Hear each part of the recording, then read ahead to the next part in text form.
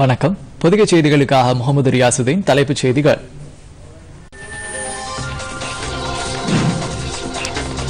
உலக அறிவாற்றலில் India super power நாடாக உருவெடுக்க தேசிய கல்விக் கொள்கையில் மறுசீரமைப்பு அவசியம் பிரதமர் நரேந்திர மோடி வலியுறுத்தல்.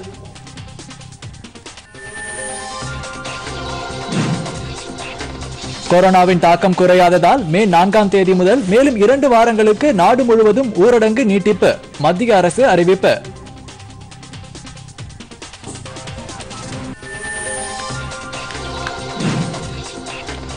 கொரோனாவிலிருந்து குணமடைவோர் சதவீதம் இருபத்தி ஐந்து புள்ளி மூன்று ஏழாக உயர்வு. மத்திய சுகாதாரத்துறை அமைச்சகம் தகவல் பாதிக்கப்பட்டோர் எண்ணிக்கை முப்பத்தி ஏழாயிரத்து முன்னூற்று முப்பத்தி ஆறாக அதிகரிப்பு.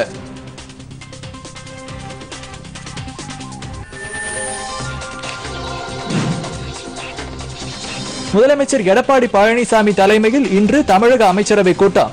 தமிழகத்தில் ஊரடங்கை நீட்டிப்பது குறித்து முக்கிய ஆலோசனை.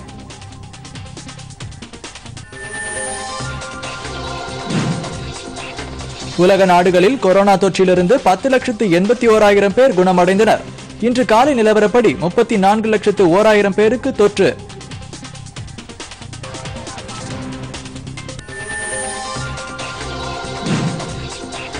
வடகொரிய அதிபர் கிம் ஜாங் உன் பொது நிகழ்ச்சியில் பங்கேற்ற புகைப்படம் வெளியீடு. உடல்நிலை குறித்த சந்தேகங்கள் முடிவுக்கு வந்தன.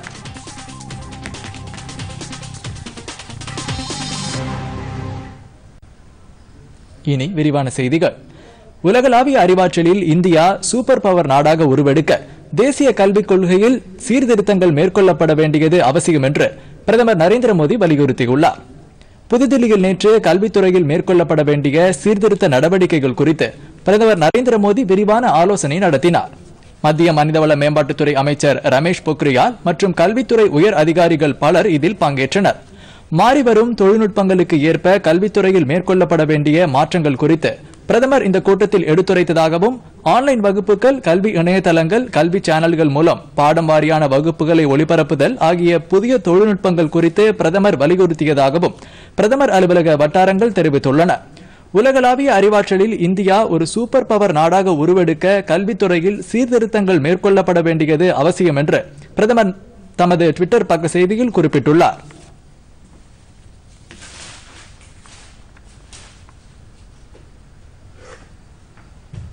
முன்னதாக சிவில் விமான போக்குவரத்தின் செயல்பாடுகளை மேம்படுத்துவது குறித்தும் மின்துறையின் செயல்பாடுகளை அதிகரிப்பது குறித்தும் பிரதமர் நரேந்திர மோடி புதுதில்லியில் நேற்று அமைச்சர்கள் மற்றும் அதிகாரிகளுடன் துறை வாரியாக ஆலோசனை நடத்தினார்.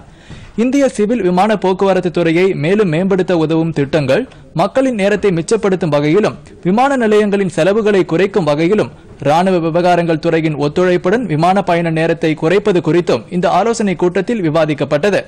இந்த கூட்டத்தில் உள்துறை அமைச்சர் அமித்ஷா நிதித்துறை அமைச்சர் நிர்மலா சீதாராமன் சிவில் விமான போக்குவரத்து நிதித்துறை இணையமைச்சர்கள் மற்றும் மத்திய அரசின் உயர் அதிகாரிகள் கலந்து கொண்டனர். இந்த கூட்டத்தில் கூடுதல் வருமானம் ஈட்டவும் விமான நிலையங்களின் செயல்திறனை அதிகரிக்கவும் மேலும் ஆறு விமான நிலையங்களை பொதுத்துறை தனியார் பங்களிப்பு அடிப்படையில் ஒப்படைப்பதற்கான பணிகளை விரைவுபடுத்த வேண்டும் என்றும் இதற்கான ஒப்பந்த புள்ளி பணிகளை மூன்று மாதங்களுக்குள் தொடங்க வேண்டும் என்றும் தெரிவிக்கப்பட்டது. இதேபோல் மின்துறையில் ஏற்பட்டுள்ள தாக்கங்கள் அதன் நீடித்த செயல்பாடு மின்துறையின் செயல்திறனை அதிகரிப்பது நீண்டகால நோக்கிலான சீர்திருத்த முயற்சிகள் ஆகியவை குறித்தும் பிரதமர் நரேந்திர மோடி நேற்று ஆலோசனை நடத்தினார். பொருளாதார வளர்ச்சிக்கு புதிய வேகம் தருவதில் மின்துறையின் பங்கீடு குறித்து பிரதமர் சுட்டிக்காட்டினார். தனியார் முதலீடுகளை ஈர்ப்பதற்கான ஒப்பந்தங்களை செம்மையான முறையில் செயல்படுத்துவதன் அவசியம் குறித்தும் இக்கூட்டத்தில் முக்கியமாக விவாதிக்கப்பட்டது.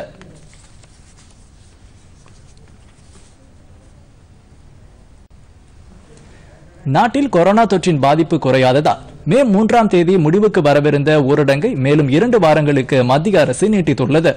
கடந்த மாதம் இருபத்தி ஏழாம் தேதியன்று பிரதமர் நரேந்திர மோடி நான்காவது முறையாக மாநில முதலமைச்சர்களுடன் காணொலி காட்சி மூலம் ஊரடங்கை நீட்டிப்பதா அல்லது படிப்படியாக தளர்த்துவதா என்பது குறித்து ஆலோசனை நடத்தினார். இதில் கலந்து கொண்ட பெரும்பாலான மாநில முதலமைச்சர்கள் கொரோனா தொற்றின் வேகம் குறையாததால் ஊரடங்கை நீட்டிக்க வேண்டும் என்று பிரதமரிடம் கோரிக்கை விடுத்தனர். இந்நிலையில் பிரதமர் நரேந்திர மோடி புதுதில்லியில் நேற்று மத்திய அமைச்சர்கள் அமித்ஷா ராஜ்நாத் சிங் நிர்மலா சீதாராமன் பியூஷ் கோயல் ஆகியோருடன் ஊரடங்கு குறித்து ஆலோசனை நடத்தினார்.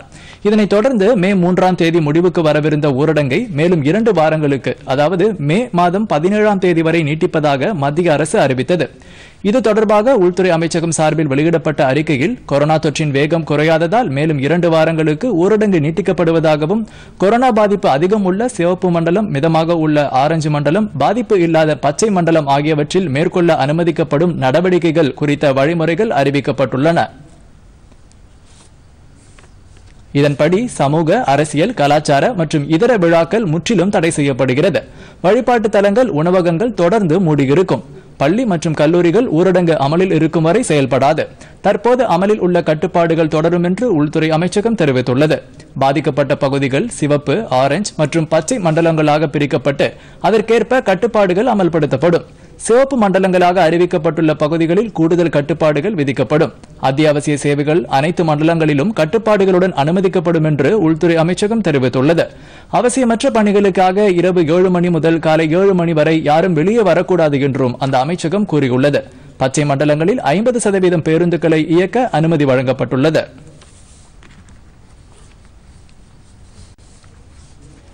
நாடு முழுவதும் கொரோனா வைரஸால் அதிகம் பாதிக்கப்பட்ட நூற்று முப்பது மாவட்டங்களை சிவப்பு மண்டலங்களாக அறிவித்து மத்திய சுகாதாரத்துறை அமைச்சகம் புதிய பட்டியலை வெளியிட்டுள்ளது. தற்போதைய நிலையில் மே மூன்றாம் தேதி வரை ஊரடங்கு அமலில் உள்ள நிலையில் இந்த பட்டியலை அரசு வெளியிட்டுள்ளது. ஓரளவு பாதிப்பு கொண்ட இருநூற்றி எண்பத்தி நான்கு மாவட்டங்கள் ஆரஞ்சு மண்டலங்களிலும். பாதிப்புகள் மிகவும் குறைவாக உள்ள அல்லது பாதிப்பே இல்லாத முன்னூற்று பத்தொன்பது மாவட்டங்கள் பச்சை மண்டலங்களிலும் இடம்பெற்றுள்ளன.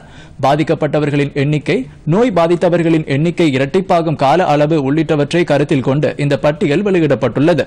மும்பை தில்லி கொல்கத்தா ஹைதராபாத் புனே பெங்களூரு அகமதாபாத் சென்னை உள்ளிட்ட முக்கிய நகரங்கள் அனைத்துமே சிவப்பு மண்டலங்களாக அறிவிக்கப்பட்டுள்ளது. இதன்படி உத்தரப்பிரதேசத்தில் பத்தொன்பது மாவட்டங்களும் மகாராஷ்டிராவில் பதினான்கு மாவட்டங்களும் தமிழ்நாட்டில் பனிரெண்டு மாவட்டங்களும் மேற்கு வங்கத்தில் பத்து மாவட்டங்களும் சிவப்பு மண்டலங்களாக அறிவிக்கப்பட்டுள்ளன. தமிழகத்தை பொறுத்தவரை இருபத்தி நான்கு மாவட்டங்கள் ஆரஞ்சு மண்டலங்களாக அறிவிக்கப்பட்டுள்ளன. கிருஷ்ணகிரி மாவட்டம் மட்டுமே பச்சை மண்டலமாக தமிழகத்தில் உள்ளது. அஸ்ஸாமில் அதிகபட்சமாக முப்பது மாவட்டங்கள் பச்சை மண்டலங்களாக அறிவிக்கப்பட்டுள்ளன. அருணாச்சல பிரதேசம் மற்றும் சத்தீஸ்கரில் தலா இருபத்தி ஐந்து மாவட்டங்கள் பச்சை மண்டலங்களாக அறிவிக்கப்பட்டுள்ளன. கடந்த இருபத்தி ஒரு நாட்களில் புதிதாக யாரும் கொரோனா தொற்றால் பாதிக்கப்படாத மாவட்டங்கள் பச்சை மண்டலங்களாக அறிவிக்கப்பட்டுள்ளன. மாநில தலைமைச் செயலாளர் மற்றும் சுகாதாரத்துறை செயலாளர்களுடன் மத்திய அமைச்சரவை செயலாளர் நேற்று காணொலி காட்சி மூலம் ஆலோசனை நடத்திய பின்னர் கொரோனா வைரஸ் பாதிப்பு கொண்ட மாவட்டங்கள் விரிவாக வகைப்படுத்தப்பட்டு இந்த புதிய பட்டியல் வெளியிடப்பட்டுள்ளது.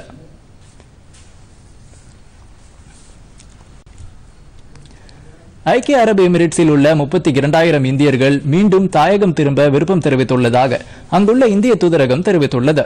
தாயகம் திரும்ப விருப்பமுள்ள இந்தியர்கள் இணையதளத்தில் பதிவு செய்து கொள்ளுமாறு ஐக்கிய அரபு எமிரேட்ஸில் உள்ள இந்திய தூதரகம் அறிவித்தது. அதைத் தொடர்ந்து கடந்த இரண்டு தினங்களில் முப்பத்தி இரண்டாயிரம் பேர் பதிவு செய்துள்ளதாக தெரிவிக்கப்பட்டுள்ளது. விண்ணப்பித்தவர்களில் அவசர தேவை உள்ளவர்கள் மற்றும் கர்ப்பிணி பெண்களுக்கு முன்னுரிமை வழங்கப்படும் என்று இந்திய தூதரகம் கூறியுள்ளது. தற்போதுள்ள பயண கட்டுப்பாடுகளை கருத்தில் கொண்டு அடுத்த சில நாட்களில் உரிய முடிவு எடுக்கப்படும் என்று தெரிவிக்கப்பட்டுள்ளது.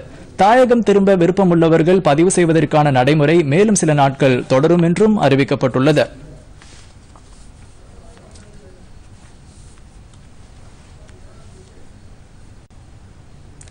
புலம்பெயர்ந்த தொழிலாளர்கள் யாத்ரீகர்கள் மற்றும் மாணவர்கள் அவர்களது சொந்த ஊருக்கு திரும்பிச் செல்ல பல்வேறு நகரங்களிலிருந்து சிறப்பு ரயில்கள் இயக்கப்பட்டு வருகின்றன.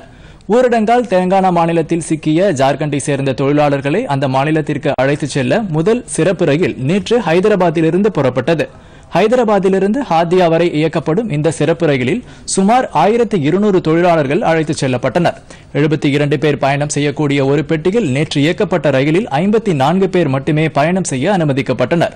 ஓர் இருக்கையில் எட்டு பேருக்கும் இடமுள்ள சூழலில் ஆறு பேர் மட்டுமே அமர வைக்கப்பட்டனர். ஹாத்தியா சென்ற பின்னர் தொழிலாளர்கள் அனைவரும் தனிமைப்படுத்தும் மையங்களுக்கு அழைத்துச் செல்லப்பட்டு தங்க வைக்கப்படுவார்கள்.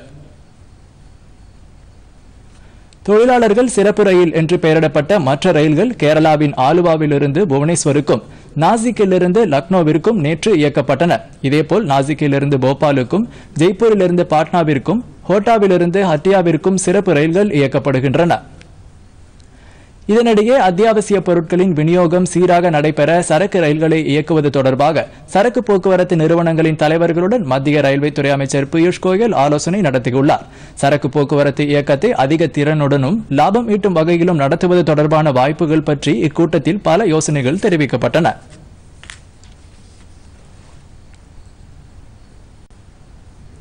இ நாம் எனப்படும். தேசிய வேளாண் சந்தை மின்னணு வர்த்தக இணையதளத்தில் ஏழு மாநிலங்களைச் சேர்ந்த மேலும் இருநூறு புதிய வேளாண் சந்தைகள் இணைந்துள்ளன.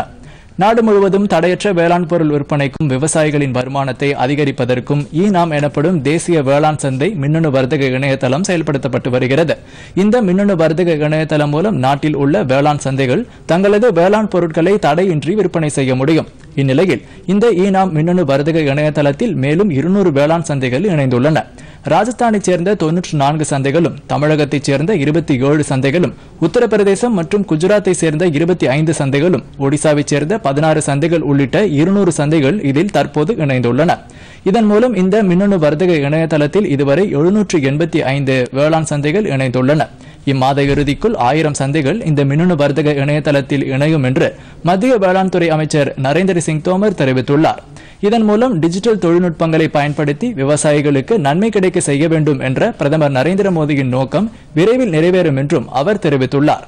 இந்த இ நாம் தேசிய வேளாண் சந்தை மின்னணு வர்த்தக இணையதளத்தில் இதுவரை அறுபத்தி ஆறு லட்சம் விவசாயிகளும் ஒரு லட்சத்து இருபத்தி எட்டாயிரம் வர்த்தகர்களும் இணைந்திருப்பது குறிப்பிடத்தக்கது. மூங்கில் சியக்காய் மரம் பாசி உள்ளிட்ட சிறிய வகை வன உற்பத்தி பொருட்களுக்கான குறைந்தபட்ச ஆதரவு விலையை மத்திய அரசு உயர்த்தியுள்ளது. கொரோனா தொற்றால் ஊரடங்கு பிறப்பிக்கப்பட்டுள்ளதால் நாட்டில் பல்வேறு தொழில்கள் முடங்கியுள்ளன. ஊரடங்கால் ஏற்பட்டுள்ள பாதிப்புகளை சமாளிக்க மத்திய அரசு பல்வேறு சலுகைகளை அறிவித்து வருகிறது. இந்நிலையில் மூங்கில் சீயக்காய் மரம் பாசி உள்ளிட்ட நாற்பத்தி ஒன்பது வகையான சிறிய வகை வன உற்பத்தி பொருட்களுக்கு குறைந்தபட்ச ஆதரவு விலை பதினாறு சதவீதத்திலிருந்து அறுபத்தி ஆறு சதவீதம் வரை உயர்த்தப்பட்டுள்ளதாக மத்திய பழங்குடியினர் நலத்துறை அமைச்சகம் தெரிவித்துள்ளது. இதன் மூலம் சுமார் இருபது மாநிலங்களில் சிறிய வகை வன உற்பத்தி பொருட்களுக்கான கொள்முதல் நடவடிக்கைகள் துரிதமடையும் என்றும் இந்த ஆதரவு விலை உயர்வு உடனடியாக அமலுக்கு வரும் என்றும் எதிர்பார்க்கப்படுகிறது. சிறிய வகை வன உற்பத்தி பொருட்களுக்கு மூன்று ஆண்டுகளுக்கு ஒருமுறை ஆதரவு விலை உயர்த்தப்பட்டு வருவதாகவும் தற்போது கொரோனா தொற்றால் ஏற்பட்டுள்ள பாதிப்பை சமாளிக்கும் வகையில் தற்போது ஆதரவு விலை உயர்த்தப்பட்டிருப்பதாகவும் பழங்குடியின நலத்துறை வட்டாரங்கள் தெரிவித்துள்ளன. கொரோனா வைரஸ் தொற்றால் நாடு முழுவதும் பாதிக்கப்பட்டவர்களின் எண்ணிக்கை முப்பத்தி ஏழாயிரத்து முன்னூற்று முப்பத்தி ஆறாக உயர்ந்துள்ளது.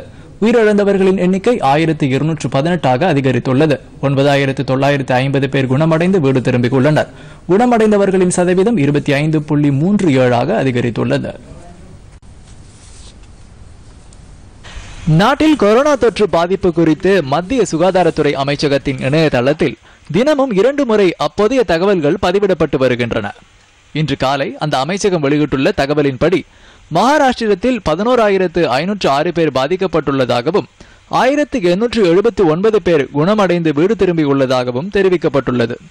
நானூற்று எண்பத்தி ஐந்து பேர் அந்த மாநிலத்தில் இதுவரை உயிரிழந்துள்ளனர். அதிக பாதிப்பை சந்தித்துள்ள மகாராஷ்டிராவில் ஒரே நாளில் இருபத்தி ஏழு பேர் உயிரிழந்துள்ளதாக சுகாதாரத்துறை அமைச்சகம் கூறியுள்ளது. குஜராத்தில் நான்காயிரத்து எழுநூற்று இருபத்தி ஒரு பேர் பாதிக்கப்பட்டுள்ளதாகவும் இருநூற்று முப்பத்தி ஆறு பேர் உயிரிழந்துள்ளதாகவும் எழுநூற்று முப்பத்தி ஐந்து பேர் குணமடைந்து வீடு திரும்பியுள்ளதாகவும் தெரிவிக்கப்பட்டுள்ளது. தில்லியில் மூவாயிரத்து எழுநூற்று முப்பத்தி எட்டு பேர் பாதிக்கப்பட்டுள்ளனர். அங்கு அறுபத்தி ஒரு பேர் உயிரிழந்துள்ள நிலையில் ஆயிரத்து நூற்று அறுபத்தி ஏழு பேர் குணமடைந்து வீடு திரும்பியுள்ளனர். மத்திய பிரதேச மாநிலத்தில் இரண்டாயிரத்து எழுநூற்று பத்தொன்பது பேர் பாதிக்கப்பட்டுள்ளதாகவும் அவர்களில் ஐநூற்று இருபத்தி நான்கு பேர் குணமடைந்து வீடு திரும்பியுள்ளதாகவும் சுகாதாரத்துறை அமைச்சகத்தின் தகவலில் குறிப்பிடப்பட்டுள்ளது. அந்த மாநிலத்தில் நூற்றி நாற்பத்தி ஐந்து பேர் உயிரிழந்துள்ளனர். கோவா மணிப்பூர் திரிபுரா ஆகிய மாநிலங்களில் பாதிக்கப்பட்டிருந்த அனைவரும் குணமடைந்த நிலையில் அந்த மாநிலங்கள் கடந்த ஒரு வாரத்திற்கு மேலாக தொற்றிலிருந்து விடுபட்ட மாநிலங்களாக தொடர்ந்து நீடித்து வருகின்றன. நாட்டிலேயே சிக்கிம் மாநிலத்தில் தொடக்கத்திலிருந்தே யாருக்கும் தொற்று ஏற்பட்டது கண்டறியப்படவில்லை. அந்த மாநிலம் தொடக்கத்திலிருந்தே முழுவதும் பச்சை மண்டலமாக நீடித்து வருகிறது. இதனிடையே புதுதில்லியில் நேற்று மாலை நடைபெற்ற செய்தியாளர்கள் சந்திப்பில் சுகாதாரத்துறை இணைச் செயலாளர் லாவ் அகர்வால் உள்ளிட்ட உயர் அதிகாரிகள் கொரோனா தொற்று தடுப்பு நிலவரம் குறித்து விளக்கம் அளித்தனர். நாட்டில் குணமடைந்தவர்களின் விகிதம் அதிகரித்து வருவதாகவும் தற்போது அதில் இருபத்தி ஐந்து புள்ளி மூன்று ஏழாக உயர்ந்துள்ளது என்றும் அதிகாரிகள் கூறினர். நாடு முழுவதும் பத்தொன்பதாயிரத்து முன்னூற்று தொன்னூற்றி எட்டு வெண்டிலேட்டர் எனப்படும் செயற்கை சுவாச கருவிகள் கூடுதலாக இருப்பில் உள்ளதாகவும் மேலும் ஆயிரத்து எண்ணூற்று எண்பத்தி நான்கு கருவிகளை வாங்க நடவடிக்கை எடுக்கப்பட்டுள்ளதாகவும் அவர்கள் தெரிவித்தனர். இதில் ஐம்பத்தி ஒன்பதாயிரத்து எண்ணூற்று எண்பத்தி நான்கு கருவிகள் உள்நாட்டில் இருந்து பெறப்படும் என்றும் அவர்கள் குறிப்பிட்டனர். மருத்துவத்துறையினர் பயன்படுத்தும் பாதுகாப்பு உபகரணங்களை பொறுத்தவரை இரண்டு கோடியே இருபத்தி இரண்டு லட்சம் பாதுகாப்பு கவசங்களை வாங்க நடவடிக்கை எடுக்கப்பட்டுள்ளதாக அவர்கள் கூறினர். தமிழக அமைச்சரவை கூட்டம் முதலமைச்சர் எடப்பாடி பழனிசாமி தலைமையில் இன்று நடைபெறவுள்ளது. ஊரடங்கு மேலும் இரண்டு வாரங்களுக்கு நீட்டிக்கப்படுவதாக மத்திய அரசு அறிவித்துள்ள நிலையில் இன்று இந்த அமைச்சரவை கூட்டம் நடைபெறுகிறது. நான்காம் தேதியிலிருந்து பச்சை மண்டலங்களில் சில தளர்வுகளையும் மத்திய அரசு அறிவித்துள்ள நிலையில் அது தொடர்பாகவும் இன்றைய அமைச்சரவை கூட்டத்தில் விவாதிக்கப்படும் என்று தெரிகிறது. தமிழ்நாட்டில் கொரோனா தொற்று தடுப்பு மற்றும் முன்னெச்சரிக்கை நடவடிக்கைகள் குறித்தும் அதை மேலும் தீவிரப்படுத்துவது குறித்தும் இன்றைய கூட்டத்தில் விவாதிக்கப்பட உள்ளதாக அரசு வட்டாரங்கள் தெரிவித்துள்ளன. இன்று நடைபெறும் கூட்டத்திற்கு பின்னர் எந்தெந்த பகுதிகளில் எந்தெந்த விதமான தளர்வுகள் வழங்கப்படும் என்று குறித்து அதிகாரப்பூர்வ அறிவிப்பு வெளியாகும் என எதிர்பார்க்கப்படுகிறது. வெளி மாநிலங்களிலிருந்து தமிழகத்திற்கு வருவோர் பதினான்கு நாட்கள் தனிமைப்படுத்தப்பட வேண்டும் என்று மாவட்ட நிர்வாகங்களுக்கு தமிழக தலைமைச் செயலாளர் சண்முகம் கடிதம் எழுதியுள்ளார். கொரோனா தொற்று பாதிப்பை கட்டுப்படுத்த நாடு முழுவதும் ஊரடங்கு அமலில் உள்ளது. இந்நிலையில் வெளி மாநிலங்களில் சிக்கியுள்ள தொழிலாளர்கள் சொந்த மாநிலங்களுக்கு திரும்பும் வகையில் கட்டுப்பாடுகள் தளர்த்தப்பட்டுள்ளன. இது தொடர்பாக தலைமைச் செயலாளர் சண்முகம் அனைத்து மாவட்ட ஆட்சியர்கள் மற்றும் சென்னை மாநகராட்சி ஆணையருக்கு கடிதம் எழுதியுள்ளார். அதில் வெளி மாநிலங்களிலிருந்து வருபவர்கள் வீடுகளில் பதினான்கு நாள் தனிமைப்படுத்தப்பட வேண்டும் என்றும் அவர்களது வீடுகளில் இது தொடர்பான ஸ்டிக்கர் ஒட்டப்பட வேண்டும் என்றும் அறிவுறுத்தப்பட்டுள்ளது. இதேபோல் தமிழகத்தில் ஒரு மாவட்டத்திலிருந்து மற்றொரு மாவட்டத்திற்கு பயணம் மேற்கொள்வோரும் வீடுகளில் தனிமைப்படுத்தப்பட வேண்டும் என்று கேட்டுக் கொள்ளப்பட்டுள்ளது அவ்வாறு தனிமைப்படுத்தப்பட்டிருப்பவர்களுக்கு காய்ச்சல் இருமல் உள்ளிட்ட அறிகுறிகள் ஏதேனும் தென்பட்டால் உடனடியாக அவர்கள் அருகில் உள்ள மருத்துவமனையை அணுக வேண்டும் என்றும் கேட்டுக் கொள்ளப்பட்டுள்ளது மேலும் அவ்வாறு வருபவர்கள் கடந்த பதினைந்து நாட்களில் கொரோனா தொற்றால் பாதிக்கப்பட்டவர்களுடன் தொடர்பில் இல்லை என்பதை உறுதிப்படுத்த வேண்டும் என்று கூறப்பட்டுள்ளது. வெளி மாநிலங்களிலிருந்து தமிழகத்திற்கு வருபவர்கள் மற்றும் தமிழகத்திற்குள் பிற மாவட்டங்களுக்கு செல்பவர்கள் சிறப்பு அனுமதி பெற வேண்டும் என்று குறிப்பிடப்பட்டுள்ளது.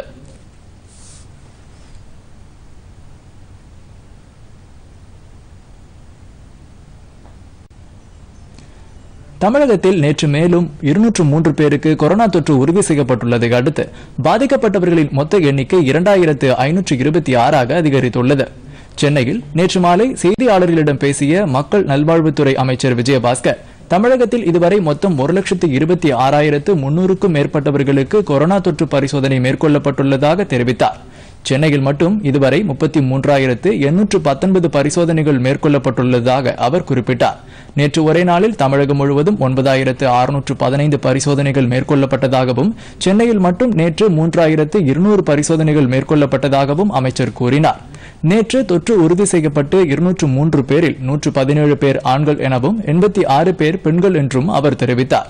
சென்னையில் மட்டும் நேற்று ஒரே நாளில் நூற்று எழுபத்தி ஆறு பேருக்கு தொற்று உறுதி செய்யப்பட்டதாகவும் இதையடுத்து நகரில் பாதிக்கப்பட்டோரின் மொத்த எண்ணிக்கை ஆயிரத்தி எண்பத்தி இரண்டாக அதிகரித்துள்ளது என்றும் அவர் தெரிவித்தார். சென்னை தவிர செங்கல்பட்டு மாவட்டத்தில் எட்டு பேருக்கும் திருவள்ளூர் மாவட்டத்தில் ஆறு பேருக்கும் மதுரை மாவட்டத்தில் மூன்று பேருக்கும் நேற்று இந்த தொற்று உறுதி செய்யப்பட்டுள்ளதாக அவர் கூறினார். சென்னை ஓமந்தூரார் மருத்துவமனையில் சிகிச்சை பெற்று வந்த தொன்னூற்று ஐந்து வயது முதியவர் ஒருவர் சிகிச்சை பலனின்றி நேற்று உயிரிழந்ததாகவும் இதனால் தமிழகத்தில் கொரோனா தொற்றால் உயிரிழந்தவர்களின் எண்ணிக்கை இருபத்தி எட்டாக அதிகரித்துள்ளது என்றும் அமைச்சர் கூறினார். இதனிடையே கொரோனா தொற்றால் கடுமையாக பாதிக்கப்பட்டுள்ள சென்னையில் பரவல் தடுப்பு நடவடிக்கையை கண்காணிக்க வருவாய் நிர்வாக ஆணையர் ஜே ராதாகிருஷ்ணனை சிறப்பு அதிகாரியாக தமிழக அரசு நியமித்துள்ளது. தூத்துக்குடி மாவட்டத்தில் கொரோனா தொற்றால் பாதிக்கப்பட்ட அனைவரும் குணமடைந்து வீடு திரும்பியுள்ளதாகவும் இதற்கு மாவட்ட நிர்வாகம் மற்றும் அரசு துறைகளின் சிறப்பான செயல்பாடே காரணம் என்றும் மாநில செய்தி மற்றும் விளம்பரத்துறை அமைச்சர் கடம்பூர் ராஜு கூறியுள்ளார். கோவில்பட்டி அருகே ஊரடங்கால் பாதிக்கப்பட்டவர்களுக்கு நிவாரணப் பொருட்களை வழங்கிய பின்னர் செய்தியாளர்களிடம் பேசிய அவர் தூத்துக்குடி மாவட்டத்தில் இருபத்தி ஏழு பேர் கொரோனா தொற்றால் பாதிக்கப்பட்டிருந்ததாகவும் அவர்களில் ஒருவர் உயிரிழந்த நிலையில் மற்ற அனைவரும் குணமடைந்து விட்டதாகவும் தெரிவித்தார். கோவில்பட்டி கடலை மிட்டாய்க்கு புவிசார் குறியீடு கிடைத்துள்ளதால் இந்த நகரில் இத்தொழில் மேலும் வளர்ச்சி அடையும் என்றும் அவர் கூறினார். இந்த தொழில் மேம்பாட்டிற்கு அரசு உதவி செய்யும் என்றும் அவர் உறுதியளித்தார்.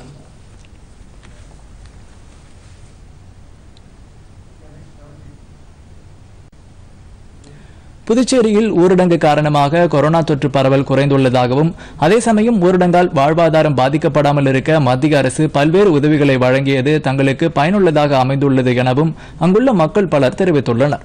புதுச்சேரி யூனியன் பிரதேசத்திற்கு உட்பட்ட பகுதிகளில் மொத்தம் எட்டு பேர் இந்த தொற்றால் பாதிக்கப்பட்ட நிலையில் ஐந்து பேர் குணமடைந்து வீடு திரும்பியுள்ளனர். பாதிப்பு குறைவாக உள்ளதற்கு ஊரடங்கு சரியான நேரத்தில் அமல்படுத்தப்பட்டதே இதற்கு காரணம் என்று மக்கள் தெரிவித்துள்ளனர். அதே சமயம் ஊரடங்கால் தங்களது வாழ்வாதாரம் பாதிக்கப்படாமல் இருக்க ஜன்தன் கணக்குகளில் உதவித்தொகை உஜ்வாலா திட்டத்தில் இலவச எரிவாயு சிலிண்டர்கள் விவசாயிகளுக்கு உதவித்தொகை போன்ற பல்வேறு உதவிகளை மத்திய அரசு செய்வதாகவும் அதற்கு நன்றி தெரிவித்துக் கொள்வதாகவும் பயனடைந்த மக்கள் கூறுகின்றனர்.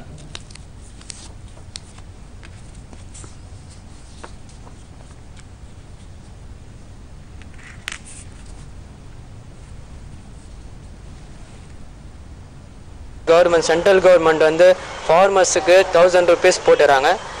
இது வந்து ஃபுல் அண்ட் ஃபுல் லாக்டவுனுக்காக ஸ்டேட் கவர்மெண்ட்டும் நல்லா சப்போர்ட் பண்ணி க்ளோஸ் பண்ணி ப பப்ளிக்கும் நல்லா ச- இது பண்ணிக்கிறாங்க சப்போர்ட்டு அனைத்து குடும்பங்களுக்கும் வறுமை கோட்டிற்கு கீழே உள்ள குடும்பங்களுக்கும் மூன்று மாதத்திற்கு ஐம்பது கிலோ அரிசி இன்று கொடுக்கப்பட்டு வருகின்றது. அனைத்து ஏழை எளிய மக்களும் பெற்று பயனடைகிறார்கள். அதற்கு அடுத்தபடியாக இன்று உஜ்வாலா திட்டத்தின் கீழ் பெருமை கோட்டிற்கு கீழே உள்ள அனைத்து மக்களுக்கும் கேஸ் சிலிண்டர் மூணு மாதங்களுக்கு மத்திய அரசு இலவசமாக வழங்கி கொண்டிருக்கின்றது. இதுவும் தற்போது ஏழை எளிய மக்களை சென்று அனைவரும் பயனடைந்து கொண்டிருக்கிறார்கள். புதுக்கோட்டையில் பழைய அரசு மருத்துவமனையில் புதிதாக அமைக்கப்பட்டுள்ள கொரோனா சிகிச்சை மையத்தை சித்த மருத்துவத்துறை இயக்குனர் கணேஷ் ஆய்வு செய்தார்.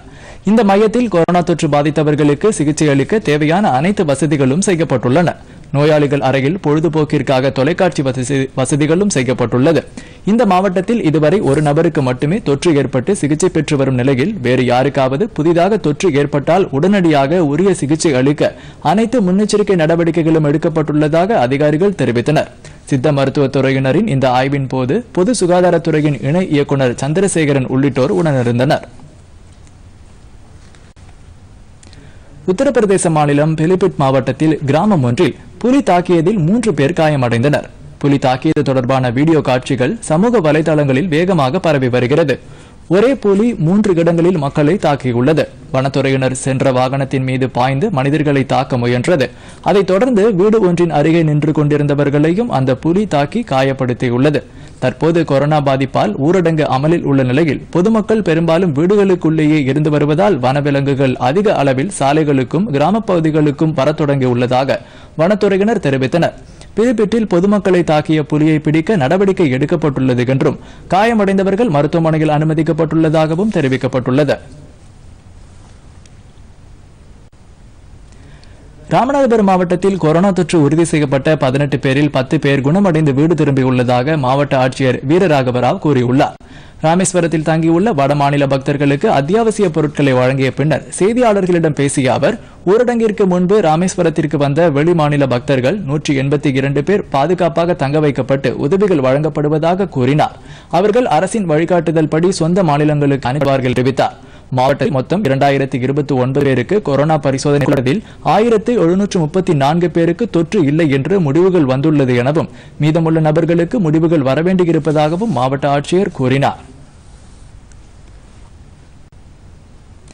புதுக்கோட்டை மாவட்டத்தில் சுய உதவிக்குழு சார்பில் பெருமளவில் முகக்கவசங்கள் தயாரித்து விற்பனை செய்யப்படுகின்றன. தற்போது முகக்கவசங்களுக்கான தேவைகள் அதிகரித்துள்ள நிலையில் சுய உதவி குழுவினர் அவற்றை தரமான முறையில் தயாரிக்க முடிவு செய்து புதுக்கோட்டை பகுதியில் விற்பனை செய்து வருகின்றனர். நகரின் பல்வேறு மருந்து கடைகளில் இந்த முகக்கவசங்கள் விற்பனை செய்யப்படுகின்றன. இவற்றால் மக்களுக்கு தொற்றிலிருந்து பாதுகாப்பு கிடைப்பதுடன் தாங்களும் பயனடைவதாக இதை தயாரிப்பவர்கள் தெரிவித்துள்ளனர். வைக்கப்படுகிறேன் இது நாள் கொரோனா நாள். நான் த மாஸ்க் தயாரித்து புதுக்கோட்டை மாவட்டத்தில் இதுவரைக்கும் நான் அறுபதாயிரம் பீஸ் விற்று கொண்டு இருக்கிறேன் மேற்கொண்டு நான் மாஸ்க்கு நல்ல முறையில் தயாரித்து வைக்கிறேன். இந்த கொரோனா வந்ததின் பிறகு அனைவருக்கும் குறைந்த விலையில் தரமான மாசுக்கை உற்பத்தி செய்து மொத்தமாக வந்து வேலையில்லாத தொழிலாளர்களும் வந்து எங்கள்கிட்ட வாங்கிட்டு போய் விற்கிறாங்க கொரோனா வந்ததுனால வேலைக்கு செல்ல முடியலை. தனியார் நிறுவனத்தில் ஒன்றுமை தொண்டு மூலமாக இந்த மாஸ்க் எடுத்து வியாபாரம் செஞ்சுக்கிட்டு இருக்கேன். தமிழகத்தில் கொரோனா தொற்று பாதிப்பில் இரண்டாவதாக அதிக பாதிப்பை சந்தித்த கோவை மாவட்டம் தற்போது சிவப்பு மண்டலத்திலிருந்து ஆரஞ்சு மண்டலமாக மாறியுள்ளது என்றும் இதற்கு மக்களின் ஒத்துழைப்பை காரணம் என்றும் அம்மாவட்ட ஆட்சியர் ராசாமணி கூறியுள்ளார். இது தொடர்பாக செய்தியாளர்களிடம் பேசிய அவர் மாவட்டத்தில் நூற்றி நாற்பத்தி ஒரு பேருக்கு தொற்று பாதிப்பு ஏற்பட்ட நிலையில் நூற்றி முப்பத்தி இரண்டு பேர் முழு உடல்நலம் பெற்று வீடு திரும்பியுள்ளதாக தெரிவித்தார். மீதமுள்ள ஒன்பது பேரும் விரைவில் நலம் பெறுவார்கள் என்று கூறினார். கட்டுப்படுத்தப்பட்ட பகுதிகளில் தொடர்ந்து கண்காணிப்பு மேற்கொள்ளப்படுவதாகவும் ஆட்சியர் தெரிவித்தார். விருதுநகர் மாவட்டத்தில் இருபத்தி ஐந்து ஆண்டுகளாக பயன்பாட்டில் இல்லாத கிணறு இளைஞர்களின் முயற்சியால் மீண்டும் தூர்வாரப்பட்டு பயன்பாட்டுக்கு கொண்டு வரப்பட்டுள்ளது இந்த மாவட்டத்தில் உள்ள முத்தால் நகரில் கிணறு ஒன்று தூர்ந்த நிலையில் குப்பைகள் கொட்டை கொட்டப்பட்டு பயன்பாடு இல்லாமல் இருந்து வந்தது. ஊரடங்கு அமல்படுத்தப்பட்ட நிலையில் அங்குள்ள இளைஞர்கள் அந்த கிணற்றை தூர்வாரும் பணியில் ஈடுபட்டனர். இருபத்தி ஒரு நாட்களில் இருபத்தி ஐந்து அடி தோண்டிய நிலையில் மீண்டும் அந்த கிணற்றில் தண்ணீர் வர தொடங்கியுள்ளது. இந்த பணிகளை இளைஞர்கள் சமூக இடைவெளியை பின்பற்றியும் முகக்கவசங்கள் அணிந்தும் உரிய பாதுகாப்பு மற்றும் முன்னெச்சரிக்கையுடன் பணியை மேற்கொண்டனர்.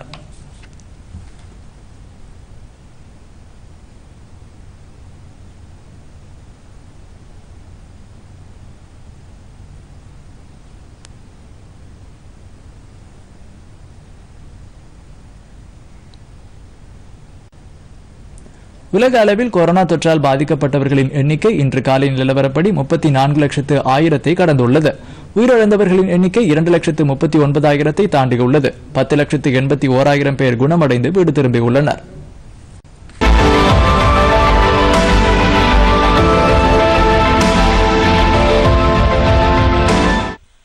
அதிக பாதிப்பை சந்தித்துள்ள அமெரிக்காவில் நேற்று ஒரே நாளில் இரண்டாயிரத்திற்கும் மேற்பட்டோர் உயிரிழந்ததை அடுத்து அங்கு உயிரிழந்தவர்களின் எண்ணிக்கை அறுபத்தி ஐந்தாயிரத்து எழுநூற்று நாற்பத்தி எட்டாக அதிகரித்துள்ளது.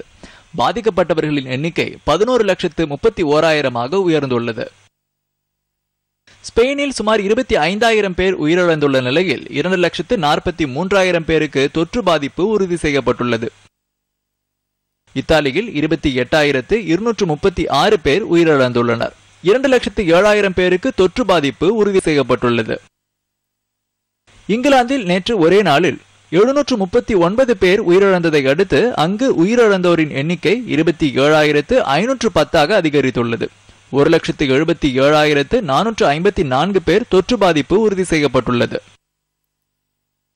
அதிக பாதிப்பை சந்தித்துள்ள பிரான்சில் இருபத்தி நான்காயிரத்து அறுநூறு பேர் உயிரிழந்துள்ளனர். ஒரு லட்சத்து அறுபத்தி ஏழாயிரம் பேருக்கு தொற்று உறுதி செய்யப்பட்டுள்ளது. தொடக்கத்தில் பாதிப்பு குறைவாக இருந்த ரஷ்யாவில் கடந்த சில நாட்களாக பாதிக்கப்பட்டவர்களின் எண்ணிக்கை மிக வேகமாக அதிகரித்து வருகிறது. புதிதாக ஏழாயிரத்து தொள்ளாயிரத்து முப்பத்தி மூன்று பேருக்கு தொற்று உறுதி செய்யப்பட்டதை அடுத்து அந்நாட்டில் பாதிக்கப்பட்டவர்களின் எண்ணிக்கை ஒரு லட்சத்து பதினான்காயிரமாக உயர்ந்துள்ளது. ஈரானில் சுமார் ஆறாயிரத்து நூறு பேர் உயிரிழந்துள்ள நிலையில் தொன்னூற்று ஐந்தாயிரம் பேர் பாதிக்கப்பட்டுள்ளனர். பாகிஸ்தானில் நேற்று ஒரே நாளில் ஆயிரத்து பத்தொன்பது பேருக்கு தொற்று உறுதி செய்யப்பட்டதை அடுத்து அங்கு பாதிக்கப்பட்டவர்களின் எண்ணிக்கை பதினெட்டாயிரத்து எண்ணூற்று இரண்டாக அதிகரித்துள்ளது. புதிதாக ஐம்பத்தி ஆறு பேர் உயிரிழந்ததை அடுத்து அந்நாட்டில் உயிரிழந்தோரின் எண்ணிக்கை நானூற்று பதினேழாக உயர்ந்துள்ளது. சிங்கப்பூரில் நேற்று புதிதாக தொள்ளாயிரத்து முப்பத்தி இரண்டு பேருக்கு தொற்று உறுதி செய்யப்பட்டதை அடுத்து அங்கு பாதிக்கப்பட்டவர்களின் எண்ணிக்கை பதினேழாயிரத்து நூற்று ஒன்றாக அதிகரித்துள்ளது. பதினைந்து பேர் உயிரிழந்துள்ளனர். பாதிக்கப்பட்டவர்களில் பெரும்பாலானோர் அங்கு தங்கி பணிபுரியும் இந்தியா உள்ளிட்ட பிற நாடுகளைச் சேர்ந்தவர்கள் ஆவார்கள். அந்நாட்டில் தொற்று வேகமாக பரவ நெருக்கமான தங்குமிடங்களும் ஒரு முக்கிய காரணம் என்று கூறப்படுகிறது. இந்நிலையில் வெளிநாட்டு பணியாளர்கள் தங்குமிடம் விட்டு வெளியேறாமல் இருக்க வேண்டும் என்று உத்தரவை மேலும் இரண்டு வாரங்களுக்கு அந்நாட்டு அரசு நீட்டித்துள்ளது. சீனாவில் முதல் முதலில் தொற்று பரவிய வூஹான் நகரத்தில் பாதிப்பு இல்லாத நிலை ஏற்பட்டுள்ளதை அடுத்து அந்த மாகாணத்தில் ஏற்கனவே ஊரடங்கு தளர்த்தப்பட்டுள்ளது.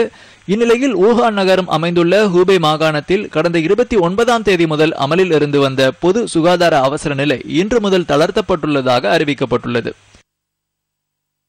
இந்நிலையில் உலகின் பல்வேறு பகுதிகளிலும் ஆங்காங்கு ஊரடங்கு தளர்த்தப்பட்டு வருகிறது அதிக பாதிப்பை சந்தித்துள்ள அமெரிக்காவின் சில பகுதிகளில் ஓரளவு ஊரடங்கு தளர்த்தப்பட்டுள்ளது. கலிபோர்னியா டெக்சாஸ் உள்ளிட்ட மாகாணங்கள் சிறிதளவு ஊரடங்கு தளர்த்தப்பட்டுள்ளதாக தகவல்கள் தெரிவிக்கின்றன.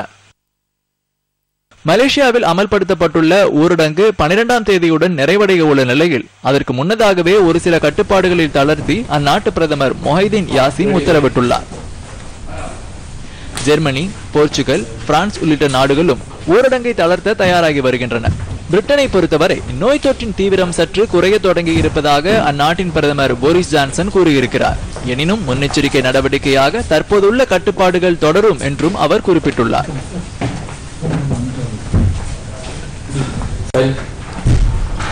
வடகொரிய அதிபர் கிம் ஜாங் உன்னின் சமீபத்திய புகைப்படங்களை அந்நாட்டு அரசு வெளியிட்டுள்ளது. இதையடுத்து அவரது உடல்நலம் குறித்து நிலவிய சந்தேகங்களுக்கு முற்றுப்புள்ளி வைக்கப்பட்டுள்ளது. வடகொரியாவின் அரசு ஊடகம் இந்த புகைப்படங்களை வெளியிட்டுள்ளது. நேற்று அவர் உர தொழிற்சாலை ஒன்றில் நடைபெற்ற நிகழ்ச்சியில் கலந்து கொண்டதாக தெரிவிக்கப்பட்டது. கடந்த ஏப்ரல் பதினோராம் தேதி முதல் வடகொரிய அதிபர் எந்த ஒரு நிகழ்ச்சியிலும் கலந்து கொள்ளாமல் இருந்ததால் அவரது உடல்நலம் குறித்து பல்வேறு தகவல்களும் அது தொடர்பான சந்தேகங்களும் வெளியாகியிருந்தன. மீண்டும் தலைப்புச் செய்திகள்.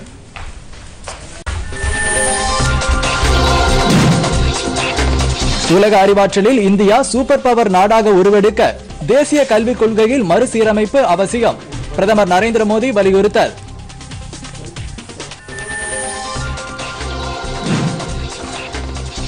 கொரோனாவின் தாக்கம் குறையாததால் மே நான்காம் தேதி முதல் மேலும் இரண்டு வாரங்களுக்கு நாடு முழுவதும் ஊரடங்கு நீட்டிப்பு மத்திய அரசு அறிவிப்பு.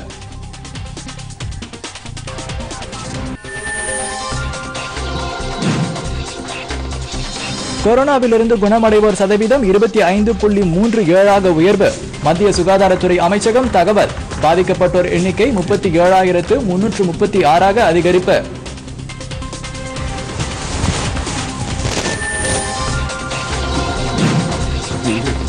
முதலமைச்சர் எடப்பாடி பழனிசாமி தலைமையில் இன்று தமிழக அமைச்சரவை கூட்டம். தமிழகத்தில் ஊரடங்கை நீட்டிப்பது குறித்து முக்கிய ஆலோசனை.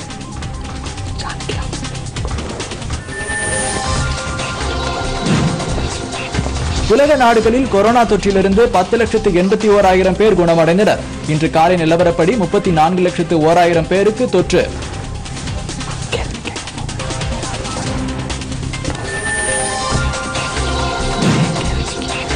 வடகொரிய அதிபர் கிம் ஜாங் உன் பொது நிகழ்ச்சியில் பங்கேற்ற புகைப்படம் வெளியீடு. உடல்நிலை குறித்த சந்தேகங்கள் முடிவுக்கு வந்தன.